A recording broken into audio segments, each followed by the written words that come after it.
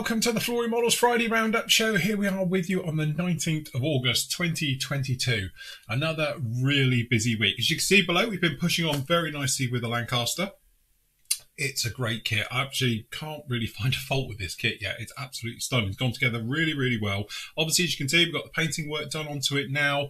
Uh, we've got the deckling down onto it. And to be honest, it's gone down really, really well. So again, good work on this one. We're taking a little bit of a break from it now just so purely the clear coat can dry off for a good couple of days and everything and then obviously we can push in with the weathering. And it's amazing because out of that giant box we're literally left with this and some bits uh, because obviously we've built all the props are done now all the weaponry is done we've got all the turrets are all done and they're all just ready to be fitted. So the great thing about this is we can just come along do these as individual parts which is the nice thing about this kit. So we can just weather one wing weather the other. So it's not like you're fighting with a giant model trying to do it. So that's really really nice. But again decals are cast They went down absolutely amazing. But like I always say, if you're putting them down over any type of black, and even if it's a gloss black, always gloss it first because the trouble that you have is that the carrier film or the silvering effect you get from it will be 10 times worse over a black finish because it just shows absolutely everything. So if you can actually get down a couple of coats of gloss first, let that totally dry off,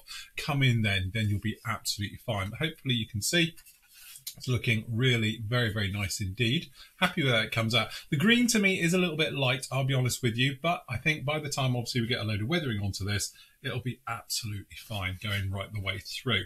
And as you can see, all the way down in here, looking very nice. We've got the undersides done as well, so they're all sorted out. We've got the tail planes all done and the various things just in there. So it's come together really, really quickly. And again, like a lot of people have said, it looks to be a fun build. And I can honestly say it really is. Any of the actual kits that I've been working on with HK have been a dream fit. They've gone together very, very well. So looking forward to this one next week. Obviously, we'll get the washes onto it. Then we'll seal them down. Then we're going to come in, obviously, with some oils. We'll weather it right down. And then obviously it'll be time for final assembly. All the little nodgy bits and bits and pieces that fall off. We'll get those all installed on it. So I'm really thinking by the end of next week, it'll be done, which will be a really nice one to finish off the month really on a little bit of a high with that one. The other one we've been working on as well is the Skyraider. To be honest, I've only got a couple of hours into this one, so there's nothing really to show at the moment. But again, this is part of our sort of, you know, go big or go home sort of theory for this year. So again, really, really nice kit. I've had this one in my stash now since it was released. It's one of those strange ones which I've never sold and then have to rebuy again. It's literally been covered into dust. I had to give it a good dusting to get it off. I have got a couple of little bits for it. So I've got Quinta Studios mask set, things like that, uh, and with the cockpit set as well for that one as well. So really, I think it's all it needs. I'm going to be doing it as the Air Force one with the shark's mouth and decals that come with it. So we're going to be doing it as a Sandy. And yeah, absolutely fantastic. So it looks to be a great kit, even though it's one of Trumpy's older ones. Actually, it's something very, very nice about it. And before everyone panics, no, I'm not going to be doing it wings folded and all the rest of it. We're going to be armed up to the teeth and have it all weathered and battered back and everything else. So that's going to be a really, really nice one to sort of, you know, finish off the summer builds, if you like, with that particular one. So that one's well underway. So again, hopefully that should be quite a, you know, quite a straightforward build. And then we can get on with the painting and weathering on that within a couple of weeks as we make our way through. Anyway, as you can see, on Monday we were into the Lancaster. So this week has been all about doing camo and obviously speak about it a little bit later on the Tuesday show as well. So we were basically just working our way down in here through the primer stage. So we go in with primers and then we have a good look at it to make sure that we're happy with all the seams and joins and everything else. And to be honest, I wasn't too happy with my uh, re-riveting and scribing that I'd done along the centre. You might remember we had quite a centre seam running right the way down here that we did the old CA uh, glue and talcum powder trick with, but it wasn't as sharp as I'd wanted it to be. I'd done it a little bit soft. So we basically came in and we re-riveted it all and we redid all the panel lines just to sharpen and crispen them up and to get them to look like the original ones on the kit. So as you can see, with all of that done, very happy how that turned out. And then it was just a case of popping in a few little panel lines around the leading edges. We had to put in the redo the panel lines around the top of the engines. So obviously where it joins the main body of the nacelle, it's a, it's quite a nasty join and getting them all to fit isn't perfect. So I elected just to put some filler in there and rescribe it. It was a bit easier. Then it was over into paint. So we were using real colours with obviously rapid drying thinners, which is, as far as I'm concerned, a match made in heaven. It works beautifully well and dries very, very quickly and nice and smooth as well. And then it was a case of getting down the uh, the earth colour first, and then we just sprayed that absolutely everywhere, all over the wings, all over the fuselage, and then we could come in and mask it, as you'll see a little bit later on. So that was really on Monday talking about preparation, taking a step back, having a look at it, taking care of anything you need to do, and then getting that first coat of paint down in there like that. So members, you can go off and see that one. That's uh, part six uh, of your Lancaster build, and that went up on Monday, or you can watch the full thing in turn. Tuesday, uh, again, it was my blog show, so answering your questions, various bits and pieces, and we were talking about obviously camo work and the different ways of doing it. So we were discussing down in here about, you know, you could buy ready done masks, so top notch, uh, great company, they pretty much do everything uh, in various scales as well, which are the vinyl sticker type ones. You can just pop them down uh, and then do those, and then obviously you could go right the way up to using uh, paper masks masks and using, you know, basically your instructions for the actual camo pattern, transferring those and doing that, uh, and going through the motions of all of those on there, which I should show you in a second if I've queued this up properly. Let me just find it. There we go. So that's the vinyl mask that we were talking about down here on the Tuesday show. And then we were talking about obviously going through onto the paper mask, which are in here. There we go. Doing the paper mask as we did it on the Vulcan. Vulcan is a free to watch video if anybody wants to see that one about, you know, the motions we went through on here to get that camo pattern coming back up. And it's all about sort of resizing, rejigging, copying them across and copying the panel lines right the way over until you got the finished article at the end of it, which we were very happy with. And then obviously we were talking about using using uh, paper with a little bit of uh, tack underneath, give a nice feathered edge. And obviously, this is the way that we did it on the 24th scale Hurricane. So again, I know a lot of people worry about uh, doing camo work and how you're going to go about it and all the rest. But I always say you just play to your strengths. If you're not happy about doing freehand and you know it just worries you about using the tack worm technique, is obviously the way we do it in a second. Then maybe you know the paper technique is great because normally the instructions are pretty good, and all you do is blow them up. And like, this was like 150 percent or whatever from the kit instructions, and then we just used them on the model and went the way through. So again, there's lots of different ways of actually doing it. You don't have to do it freehand. And in some ways, I don't think there's any real reason to do it freehand because it's just as quick to do it with a paper mask set uh, and things like that. But again, depending on your scale, 70 second, no problem at all. You can use a hard edge camo. But I think as soon as you get into the sort of 48 bomber realm and obviously 30 second scale fighters and then up obviously into 20 uh, fourth scale, you really need a sort of softer edge on that one. Uh, and that's where obviously tackworms uh, camo comes in. And that's how we did it on this particular one going right the way through on the Lancaster. So hopefully now we've got all the different ways you can go about, you know, using masks and things like that to do quite complex camo work. As you might remember back in the day, I've done leaf camo this way, uh, and you know even digital and things like that as well. So it's pretty good way of doing it at the end of the day. And the great thing about tack is you can maneuver it around as well. So you can just push it to wherever you want it to go. All right. So anyway, that's what we were talking about on the actual uh, Tuesday show uh, as well. So members, you can go off and see that one if you want to go and see that one right now.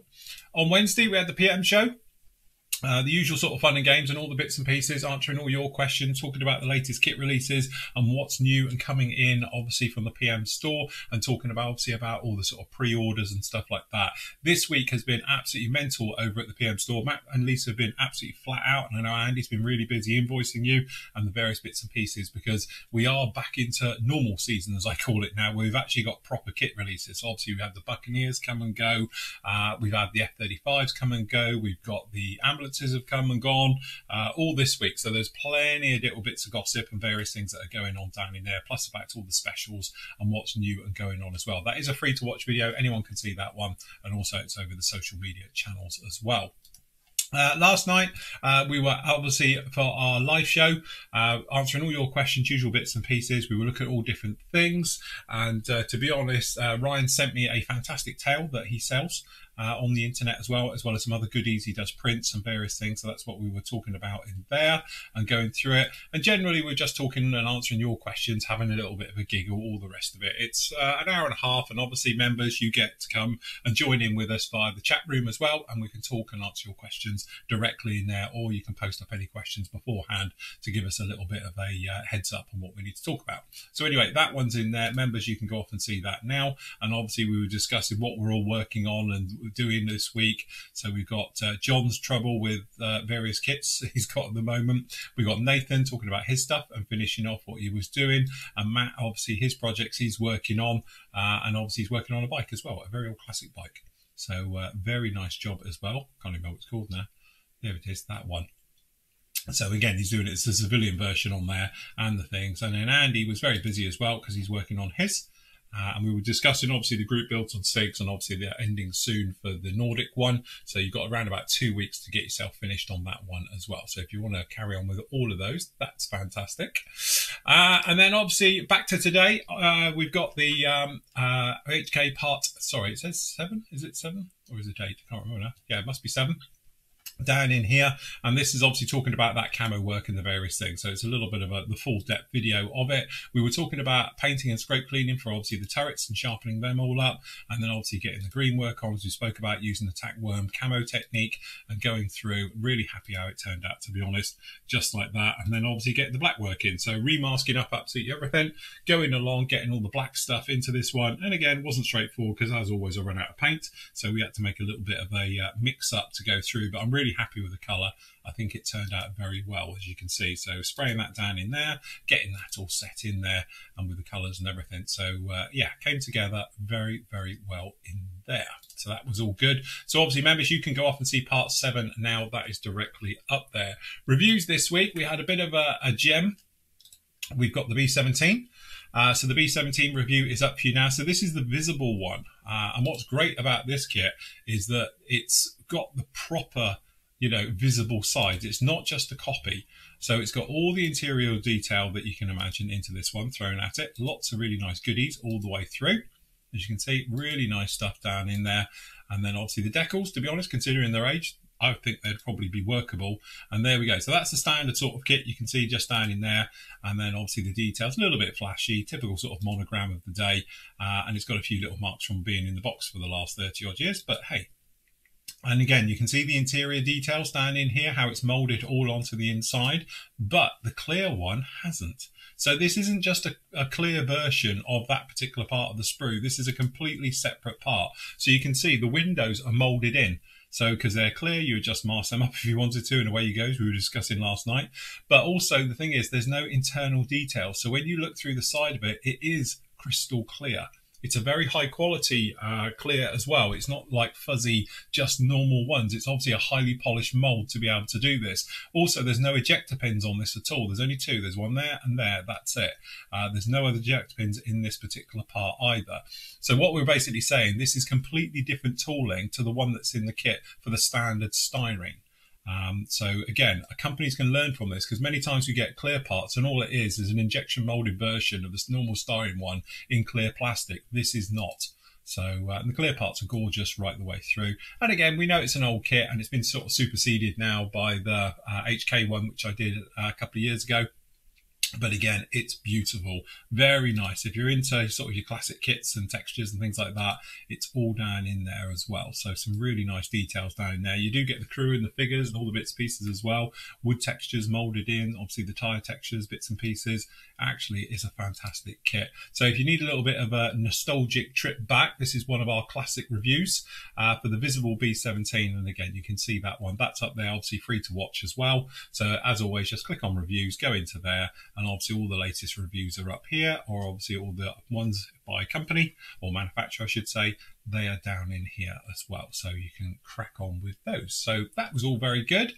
Uh, into the forum, just to let you all know that uh, we're getting very close to the end now of the actual uh, group builds for the Nordic one, literally, you've got just two weeks to finish off in this one. We've got 85 entries in there at the moment. We've got 37 finished. So, literally, two week warning, guys. Let's push on with that one. Go right the way through with it. The Greebly one or the Scratch Building SIG, uh, as you can see, that uh, sorry, group build, that's going on till the end of the year. So, you've got loads of time to get that done before the end of the year. I'm going to be joining in after we've actually done the Skyraider uh, with my monster.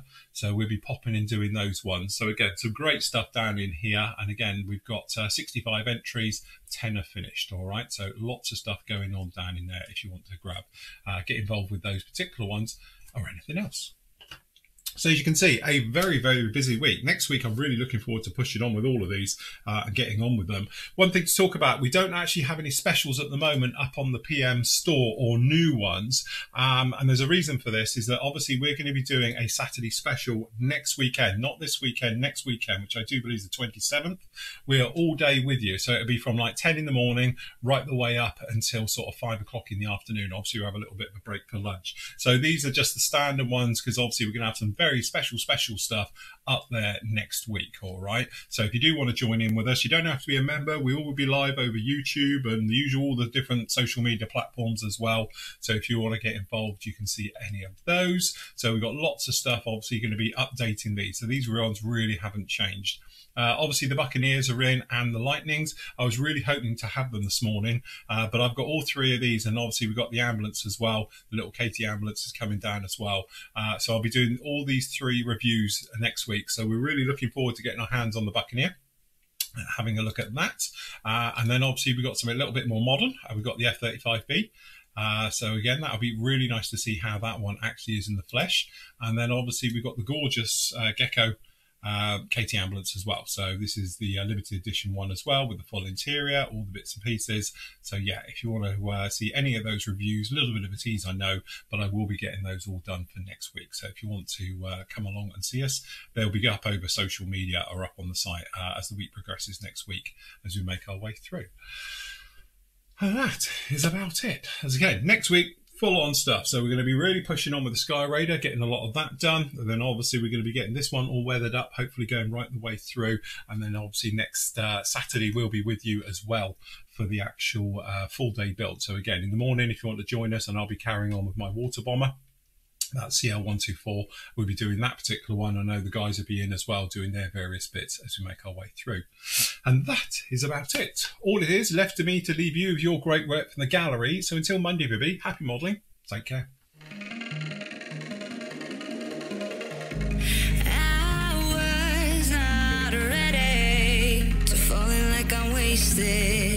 My heart grows heavy